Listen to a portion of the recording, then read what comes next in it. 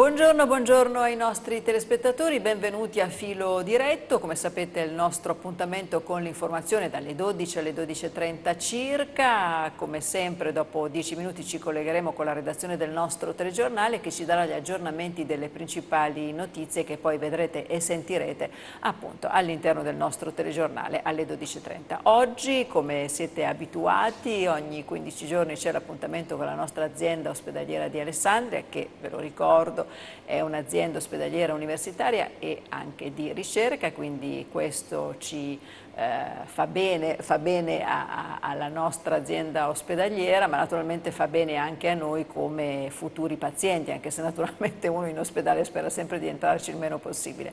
Allora, do subito il benvenuto alla dottoressa Annalisa Roveta, che è la responsabile dei laboratori di ricerca d'AIRI, che è il Dipartimento eh, di eh, attività di integrazione, ricerca e innovazione. L'ho detto bene? Buongiorno, buongiorno. buongiorno grazie, dottoressa. Grazie per l'invito. Allora, c'è certo, no, dico, la, le persone sperano sempre di entrare il meno possibile in ospedale per farsi sottoporre operazioni ed esami, però nel caso l'idea o il fatto di avere un'azienda ospedaliera che fa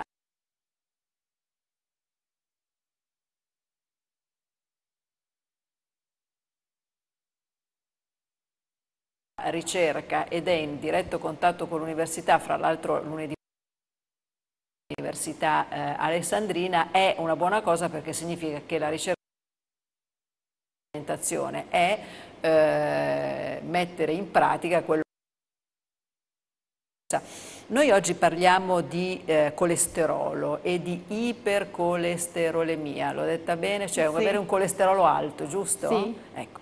Eh, che cosa significa eh, un colesterolo alto? C'è da preoccuparsi? Allora, eh, quello di cui le, le vorrei parlare sì. è un progetto di ricerca che eh, abbiamo scelto di dedicare all'ambito del rischio cardiovascolare, quindi non unicamente alla presenza di grassi nel sangue, ma eh, in relazione ad una serie di fattori, di caratteristiche eh, della, della persona che può quindi avere un rischio minore o maggiore di sviluppare eventi cardiovascolari. Questo progetto eh, integra le, le competenze e le conoscenze dell'informatica informatica medica e intelligenza artificiale, quindi questo lavoro è eh, in strettissima relazione eh, all'interno del laboratorio integrato di intelligenza artificiale e informatica medica che abbiamo integrato con il Dipartimento di Scienze e Innovazione Tecnologica dell'Università del Piemonte Orientale. È un progetto che eh, è partito eh, con un, una fase preliminare rivolta ai medici di medicina generale.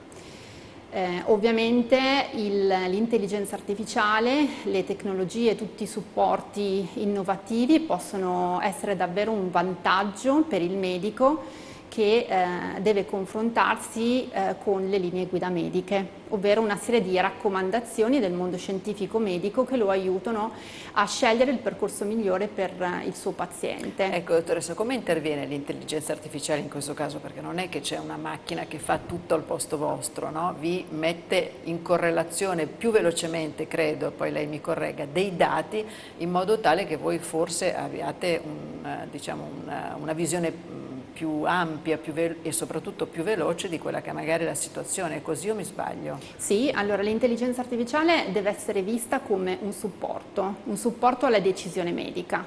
Ovviamente non si sostituisce, non si sostituirà mai al medico, eh, nel nostro caso eh, vogliamo utilizzare queste tecnologie eh, a scopo educazionale, quindi, come le dicevo, in una prima fase eh, abbiamo svolto una parte di progetto aiutando i medici attraverso eh, GLER, è una informatizzazione di una linea guida medica, eh, per eh, appunto ehm, trattare il, il paziente.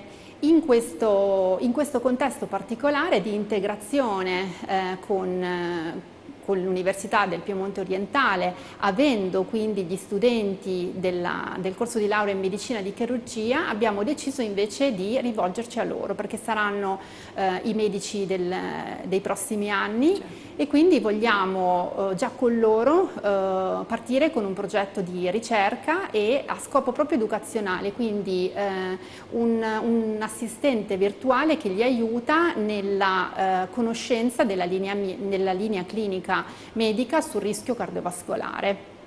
Questo è un progetto eh, in cui è coinvolto il professor Luigi Castello, eh, lui ha creduto fin dall'inizio in, in, questo lavoro e abbiamo appunto deciso di partire con la progettualità vera e propria nell'autunno di quest'anno, coinvolgendo gli studenti del quarto e quinto anno della scuola di medicina, sede di Alessandria. E che cosa faranno questi studenti? Cioè verranno all'interno del, del, reparto in ospedale? Eh, sarà, eh, un, sarà un corso, mm. sarà un progetto uh, di, diciamo, di formazione in cui avremo una classe di studenti che verrà suddivisa in due gruppi.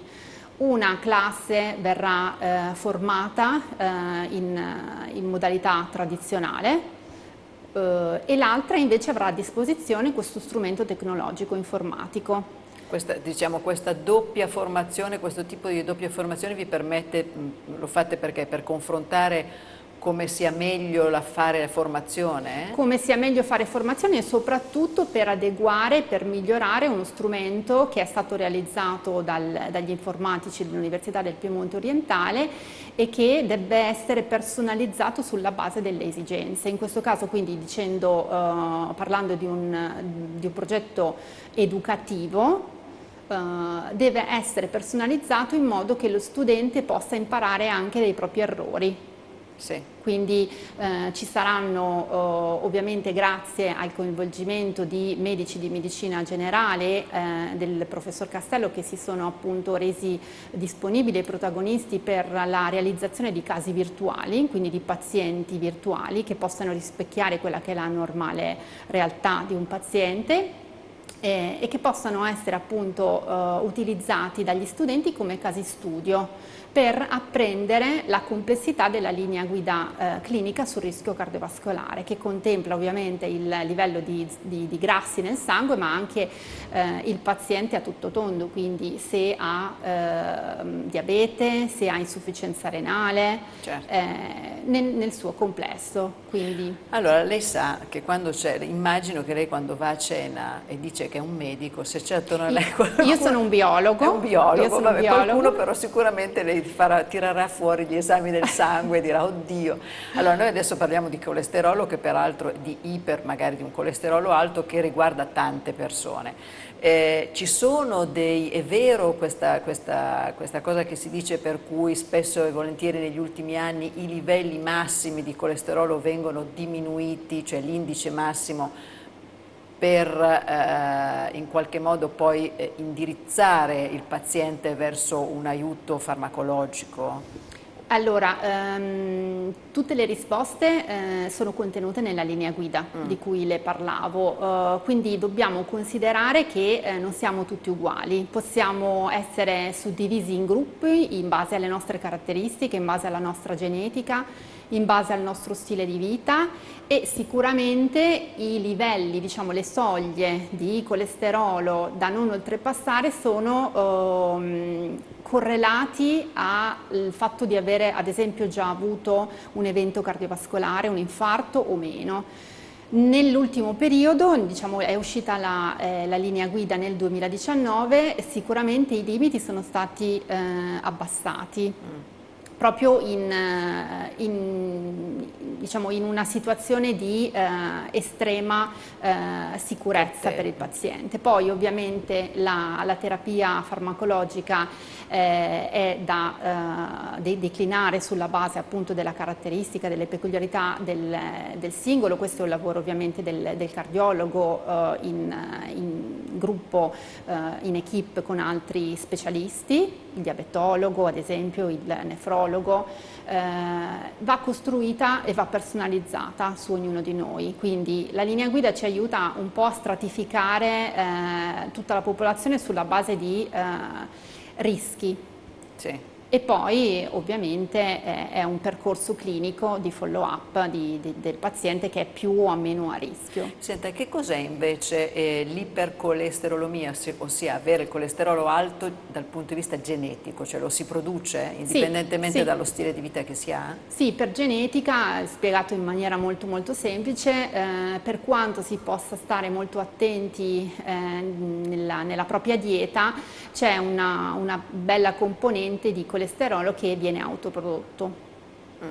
Ma eh, eh, diciamo, questo è una cosa che poi eh, andrà peggiorando verso mm. l'età, si può No, si questo può è genetica, ah. quindi vuol dire che nasciamo cioè, così, e poi fortunatamente sì. ovviamente le, la, la, frequenza delle diverse, eh, de, delle diverse tipologie, di, di, delle differenze genetiche eh, è anche in alcuni casi più rara o meno rara, eh, si parla poi di, un, diciamo, di dislipidemie, quindi di eh, presenza di, di, grassi nel sangue in maniera diversa dovuti a, eh, a situazioni genetiche un pochettino diverse. Certo. Quello che ovviamente eh, vogliamo fare, quello che si raccomanda anche nelle linee guida, è eh, riuscire a eh, modificare, quindi eh, a lavorare su tutti i fattori modificabili, lo stile di vita, l'attività fisica, l'alimentazione per, certo. per, quello che è possibile. E quindi, quindi questo è un, un, progetto importante anche perché poi eh, andiamo nell'ambito nell dell'educazione sanitaria. Certo. Quindi in questo progetto che, eh, ecco non l'ho ricordato, ma è un progetto che ha ottenuto un finanziamento il nostro dipartimento, il DAIRI diretto dal dottor Antonio Maconi, eh, appunto ci, eh, ci, sprona e ci stimola a, ehm, ad avere idee eh, nostre mh, possibilmente realizzate all'interno della nostra rete di laboratori, per questo ci siamo integrati con l'Università del Piemonte Orientale, con diversi laboratori accademici di ricerca, eh, in, diciamo, coinvolgendo i, i clinici eh, dell'azienda ospedaliera universitaria di Alessandria, specializzati ovviamente in settori specifici, in patologie specifiche e abbiamo ottenuto un finanziamento da Fondazione Compagnia di San Paolo e Fondazione Cassa Depositi e Prestiti proprio per la realizzazione di questo progetto che durerà due anni, abbiamo terminato il primo anno, il lavoro era principalmente di preparazione, quindi di acquisizione della linea guida eh, a livello informatico è un progetto più ampio che coinvolge l'Università degli Studi di Torino, che è capofila, eh, e anche le università degli studi di Napoli. Certo. Senta, se io invece le dico microplastiche, come, come, entra questo discorso che abbiamo letto tutti anche nei giorni scorsi sui vari giornali che eh, sono stati comunque trovate delle microplastiche all'interno del nostro organismo e uno non sa neanche come può averle ingerite, però eh, però ci sono. Eh, voi state facendo uno studio su questo? Come Noi abbiamo funziona? avviato un uh, gruppo di lavoro uh, che coinvolge Piemonte e Liguria, Uh, proprio recentemente nella settimana uh, ci siamo incontrati e ci siamo confrontati all'interno di un workshop uh, proprio sul tema microplastiche e, e salute, in particolar modo nell'ambito della nefrologia con eh, il professor eh, Quaglia, che è eh, direttore della nefrologia dell'azienda ospedaliera universitaria. E abbiamo iniziato da, da questo workshop eh, principalmente per incontrarci, per conoscerci, eh, sono intervenuti nefrologi, genetisti, ingegneri biomedici, eh, coinvolgendo anche l'Università degli Studi di Brescia, perché con lo stesso approccio multidisciplinare eh, vogliamo appunto valutare la presenza di microplastiche o nanoplastiche all'interno dei fluidi biologici o dei tessuti eh, di pazienti eh, che ovviamente per la realizzazione di queste progettualità verranno informati attraverso un consenso dedicato. E quindi valutare la, eh, la caratterizzazione perché è un mondo Certo. È un mondo di, di polimeri, di, di, di, additivi che eh, possono, entrano nel, nel, nostro corpo attraverso eh, l'ingestione, l'inalazione o anche semplicemente per contatto. Mm. Quindi questo è un filone nuovo, eh, eh, che vogliamo percorrere e lo vogliamo fare già insieme ad altri colleghi che se ne stanno già occupando, anche a livello internazionale. Ma dottoressa, dice, immagino che già delle indagini ci saranno in questo proposito. Come si fa per contatto ad entrare eh, in contaminazione con le microplastiche, non so, delle creme. Nei cosmetici. ah, nei cosmetici. Nei cosmetici, quindi abbiamo subito. Sì. E anche attraverso gli indumenti. Eh, poi ovviamente capire eh, come eh, la microplastica entra e come viene anche smaltita, eh, come invece si, eh, diciamo, si, si, si, va ad annidare eh, in, in, alcuni tessuti, in alcuni organi, è proprio oggetto di studio. Non c'è molto in letteratura in realtà, soprattutto in ambito di salute o di patologie del rene e, eh, e, noi vogliamo partire proprio, proprio da questo contesto. Eh, ovviamente non, non, possiamo ancora parlare di effetto tossico, ma noi vogliamo capire quali tipi di, eh, di plastiche, in che dimensioni, eh, come, come, si accumulano, dove si accumulano, quindi è un lavoro eh, ancora principalmente diciamo, di, di, di ricerca preclinica. Certo. Allora io vedo, eh, le chiedo di fare insieme a me una breve pausa perché vedo già che ti procedo pronta per darci gli aggiornamenti di quelle che saranno le nostre principali notizie all'interno del telegiornale delle 12.30, una breve pausa pubblicitaria e poi ritorniamo a parlare ancora qui con la dottoressa Annalisa Rovetta di eh, colesterolo, di colesterolo alto, di come fare ma soprattutto degli studi che si stanno facendo eh, al Diary di Alessandria per capire quali sono eh, gli effetti eh, sulle persone. Allora, tra poco, a te Chetti.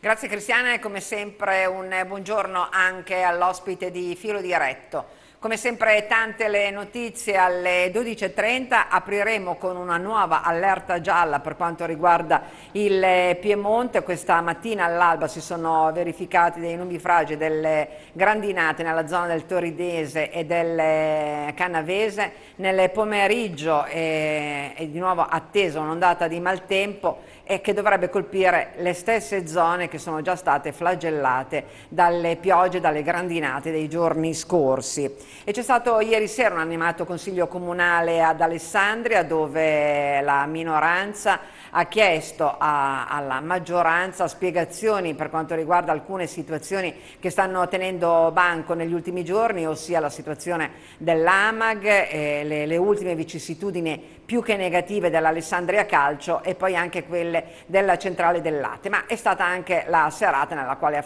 hanno fatto l'ingresso i neo assessori e consiglieri eh, rinominati nella giunta di eh, Giorgio Abonante.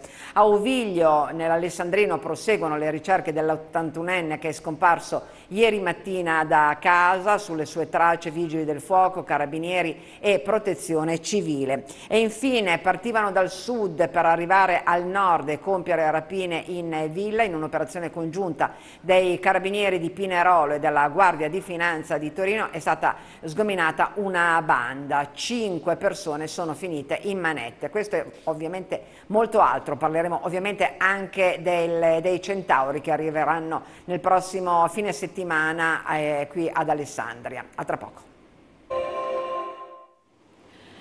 Allora, la seconda parte del nostro programma oggi è dedicata alla medicina e ai tanti studi che si fanno qui nell'azienda ospedaliera di eh, Alessandria. Ne parliamo, ne stiamo parlando con la dottoressa Annalisa Rovetta che è responsabile dei laboratori di ricerca del DAIRI. Stiamo parlando di colesterolo alto, stiamo parlando non tanto di quelle che possono essere diciamo, le indicazioni per abbassare il colesterolo che bene o male noi affetti da colesterolo alto bene o male sappiamo, ma di interessanti studi che ci sono eh, tra l'ospedale di Alessandria che mette in contatto e eh, in qualche modo arruola tra virgolette i, eh, gli studenti della, della, facoltà di medicina per capire come ehm, come, come, affrontare i malati, quelli che hanno eh, il colesterolo alto, eh, utilizzando anche per questi studi di formazione l'intelligenza artificiale.